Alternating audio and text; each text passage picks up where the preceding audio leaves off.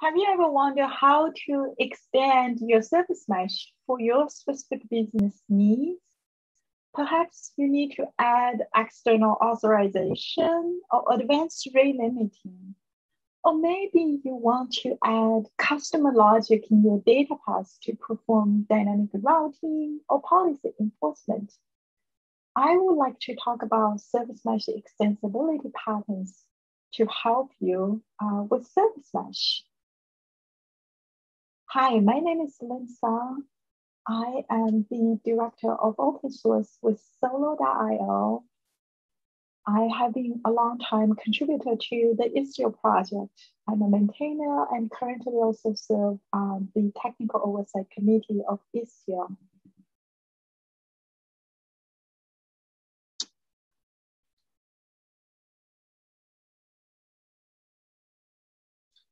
So before we get to service mesh, service mesh extensibility, let's talk about what is a service mesh. As part of the journey to cloud native, organizations face many challenges when manage microservices, such as connecting, securing, and observing these microservices. Why? Because microservices comes with a lot of challenges with one monolithic to many, many, many services.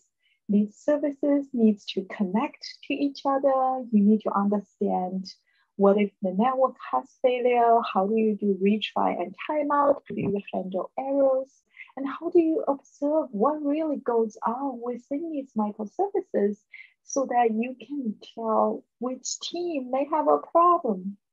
And also, how do you actually secure the communication among these microservices so that your security team would actually be happy with the microservice framework you have? So service mesh in a nutshell is really to help you with these problems so that you don't have to handle how do you connect to other services? How do you secure other services? How do you send the telemetry data? How do you observe your services in your application container? And the service mesh provide the proxy for you that you can run alongside with your application container. And also most importantly, the service mesh provide a API to allow you to declare intention on how you want to configure this proxy. And then the service mesh would automatically configure this proxy for you so that the proxy would follow your intention, but in a language that the proxy can understand. In Istio, the API you interact as a user is the Istio API, which is a much higher level abstraction on top of the Envoy configuration and the Istio call plane would essentially turn that customer resource you provided following Istio API contract into the proxy configuration of Envoy, which easily could be tens and thousands of code um, of Envoy configuration with just a few microservices. So there's strong reason you don't want to do that configuration yourself. You'd rather leverage a service mesh control plane to program the sidecar for you. So today we're going to talk about what if the default control plane and data plane doesn't fit your business needs and you want to extend that. So let's talk about the data plane extensibility first. So at the bottom of the layer, we have two applications, and these applications are as part of our data plane. As you can see, when app one needs to talk to app two, essentially the proxy is the man in the middle to mediate the traffic, right? Each application container has its own proxy as a sidecar running within the same pod namespace using Kubernetes as an example. Um, so you might be wondering, how does that happen, right? So how does traffic always goes in and out of the proxy? So within Istio, we have something called init container that set up the IP table rules for the pod so that it programmably config how the traffic are intercepted and redirected on that pod. In fact, the first customization point we're going to talk about is the init container. In the Istio project itself, we support um, using init container to configure the IP tables as the default configuration. But some of the organization may find out it's really against their security rules to have like net admin privilege to deploy applications into the net because init container needs to configure the networking IP table, so it needs the net admin privilege. So in those cases, we provide um, something called Istio CNI plugin. So the organization could use Istio CNI plugin to config um, the IP tables. It runs as a daemon set on your Kubernetes worker nodes and it would allow the, the daemon set to config the pods as they are added to the mesh. It configs the IP table rules. What the init container in those cases does, instead of programmably config the IP table rule, it simply just validates the IP table rules are good and then finishes the initialization work so that the proxy and the application container can take effect. The second um, extension point is really um, the proxy image. So the proxy image, with in Istio, you can plug in your own image. So that's one way to extend. The second way to extend is you change the proxy config, which we provide a config map that dictates how you want the default configuration template to be, and you could certainly customize that too. You may want to customize uh, pilot agent, or you may want to add some libraries onto the proxy image, or you may want to trim down the proxy image to provide your own image to do that before you convince the upstream, or maybe upstream doesn't have an interest because it's on your own private scenario. The third customization we're going to talk about is Envoy filter. So Envoy filter, it essentially allows you to customize the proxy configuration at Envoy level to the language that Envoy can understand. It's a very detailed API that you have to understand exactly you know, what Envoy configuration looks like and uh, how you want to patch it. So for example, some of the common scenario we see our customer do is um, maybe enable access log uh, for the proxy a little bit. So the fourth one we commonly see is using WASM to be able to provide customizations. So the reason WASM is really interesting here is because it's running in the native speed and it's very easy to test. You can use um, a standalone isolated VM to test your proxy um, and your proxy extension. It can do dynamic updates without Envoy restart um, it really eliminates the need to recompile and maintain your own build of Envoy because you could use WASM to simply build a extension on top of it. And what I like most about WASM um, is really be able to store the WebAssembly plugins in WebAssembly Hub and be able to consume other people's plugin. so think about Docker Hub. How many of you use Docker Hub? I'm sure it's a lot, right? Be able to reuse other people's work, it's fantastic. So WASM really enables you to be able to easily catalog and share their work and reuse work uh, from other people.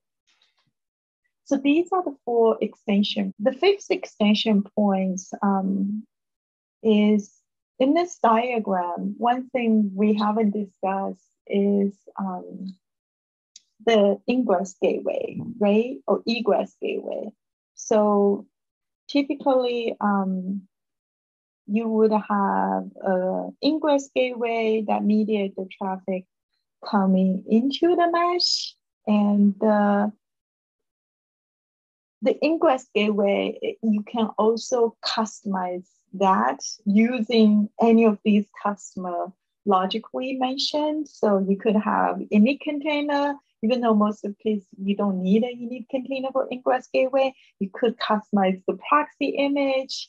You could also customize, um, you could also customize the uh, gateway using Envoy filter. You could also use a WebAssembly module to customize um, the gateway. So the gateway is really um, different from the sidecar proxy because it doesn't do automatic injection on demand. So you have that proxy configuration already upfront. Um, and then you can just go to the Kubernetes YAML file to customize um, the gateway configuration. So let's call that um, the fix by reusing some of these same techniques, but those but apply on the gateway. So we talk about the data plane extension points. Let's talk about the control plane extension points. Um, typically on the control plane side, there's uh, one common extension point is build the abstraction over the service mesh API. For example, at IstioCon, um, Salesforce was mentioning they build abstraction using Helm. So that is one way to build um, abstraction.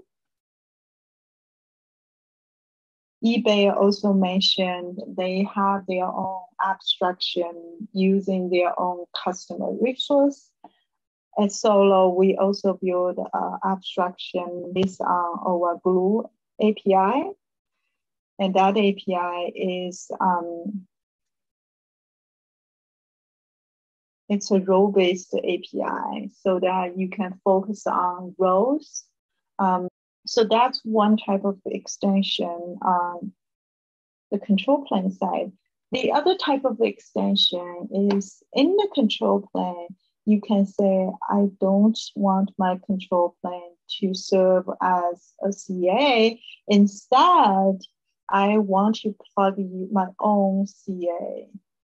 So you could um, certainly do that with your own CA um, so that your own CA would sign and uh, all, send all the keys and certificates for all the workloads in the mesh. So these are the two common um, control plane extension points. Let's go ahead and see a demo. Um, um, so this is my Kubernetes environment running my on my laptop, cluster one, as you can see. So I have a kind cluster, and in my cluster, I have a bunch of stuff installed. I have Istio installed, first of all. Um, I have um, the Bookinfo installed. Um, the only thing with Bookinfo is I didn't install version three, so I have review version one and two. I also have a simple example called "Istio in action. Uh, in the Istio in action namespace, uh, it's the web API example uh, and the recommendation and the history and also the sleep. So a lot of uh, interesting stuff you can see, you know, these um, apps are already in the mesh with the two slash two. That means uh, it has sidecar next to it. So what I'm going to do is I'm going to walk you through each of the configuration we talk about, right? So let's check the web API, for example. Let's check out the, its configuration. So we talk about the first configuration extension point is the init container, right? So this is the init container um, used by the by Istio, as you can see, it can fix a bunch of IP table rules and uh, it captures the incoming traffic and outgoing traffic. And all that configuration is done, then the proxy um, takes place. Um, and the, the application container. So one thing interesting on the proxy is you can see, you know, the image is highly customizable.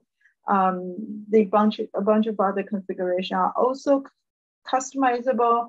And what's interesting in this scenario is we actually enable configuration uh, called hold application until true. So essentially this says, you know, you don't start the application until the proxy is ready. And this is important because some of the application, uh, it's right here, some of the application really requires um, maybe get out of the network or maybe just for security purpose, they don't want the application do any job before the proxy reaches running.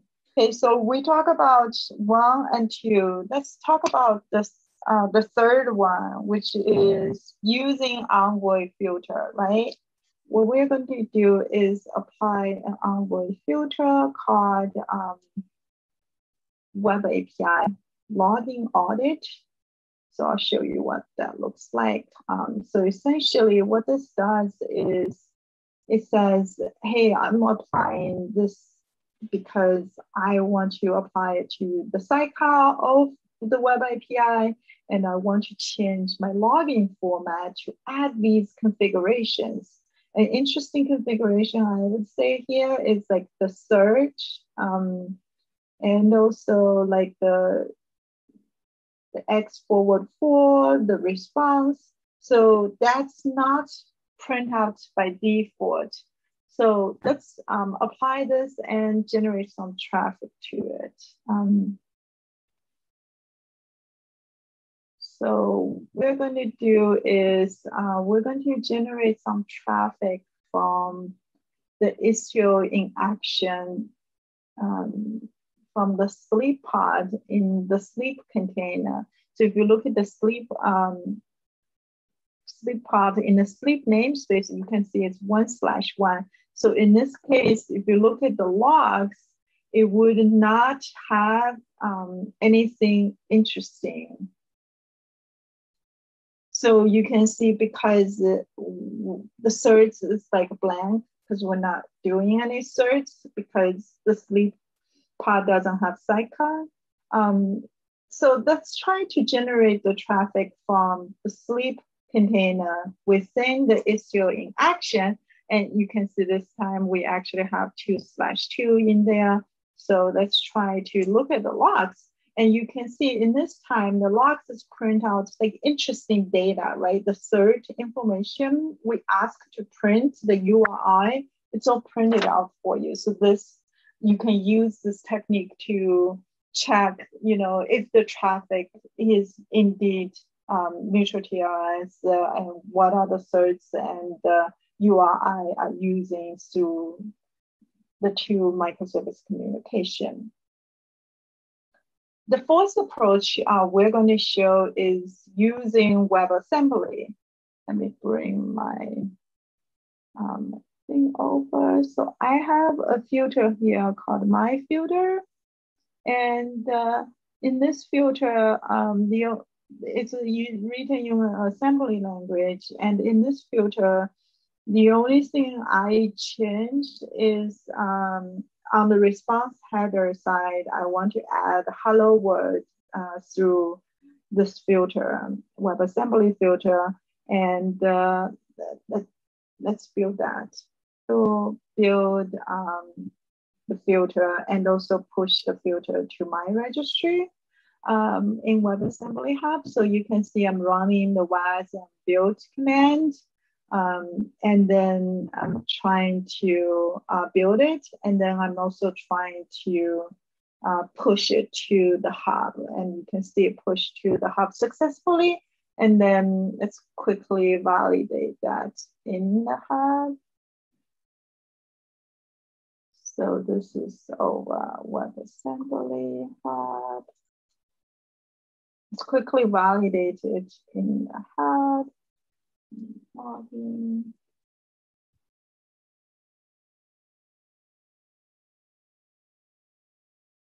Okay, so you can see um, my filter, which is the WASM module I just added 30 seconds ago. Okay, so we have our WASM module in the WebAssembly Hub. Let's go ahead and use it on the review version one. Through our workload selectors, I can specify this is only for review version one. Let's take a look at the Envoy filter generated. As you can see, review version one WASM, so the corresponding Envoy filter is generated for me automatically. Um, let's check how the filter works. So what I'm going to do now is from product page to call the reviews.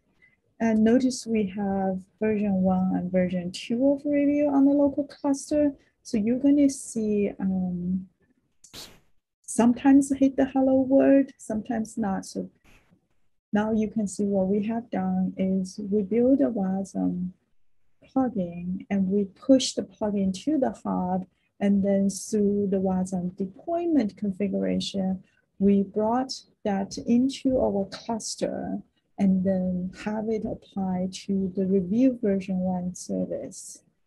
So what I'm going to do is, as you can see, this is my cluster two on the right side, and at the bottom is my management cluster. So cluster two is pretty much same as cluster one.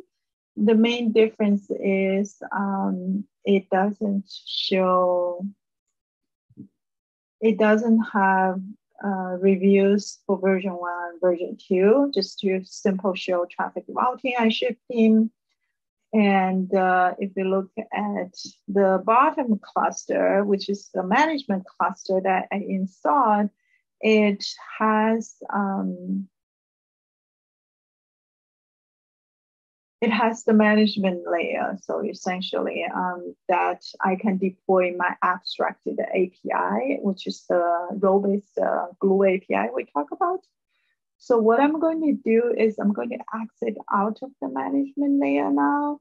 What I want to do is I want to apply the virtual destination CRD, which is the abstraction CRD uh, we built on top of the Istio resources. And you can see this says I'm creating a reviews.global to represent all the review services across different cluster. And the other thing I just created is traffic policy. So traffic policy allow me to say, you know, shift to the failover. Um, um, and if local fails, go ahead, shift the traffic to the virtual destination um, that we just defined, uh, which is go to global. Okay, so now I'm going to go to the cluster ones um, to see. Okay, now I'm visiting the Bookinfo um, the cluster ones ingress gateway. As you can see right now, you know, it's round robin between the clusters um, because, you know, I have both one, two, three in place. But now if I go here and shut down my reviews uh, one and two in the first cluster, uh, let's see if, uh, if Istio can handle that automatically. So um, let's go here. And now guess what?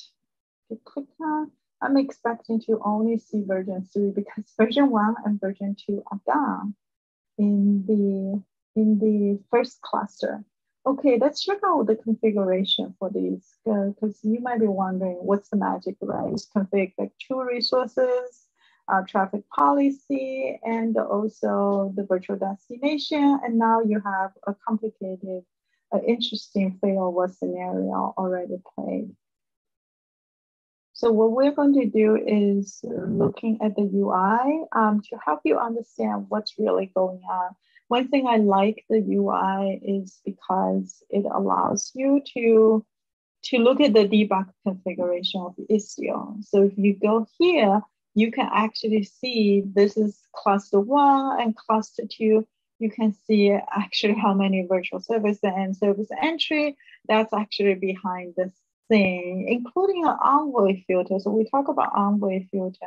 Like in this case, we actually have an envoy filter that applies to the gateway to handle the intra gateway among multi-cluster and to handle the SNI port 15443 to say, you know, for the traffic that calls for cluster1.global, change to cluster.local so that the traffic can be forwarded from the gateway to the local service. So this really shows you um, the power of building abstraction like your user doesn't have to create a lot of virtual service, service entry, and destination rules. Let's wrap it up. As you can see, service mesh extensibility are super powerful. We went through different ways to extend the data plane, which can be applied to the sidecar proxy and also be applied to the gateways. We also went through building abstraction layer on top of the service mesh API and also plugging your own CA for your service mesh. We would like to have you share us your extensibility stories and see if any of these extension patterns would fit your requirements. Thank you very much. Um, I would love to hear any questions you guys have.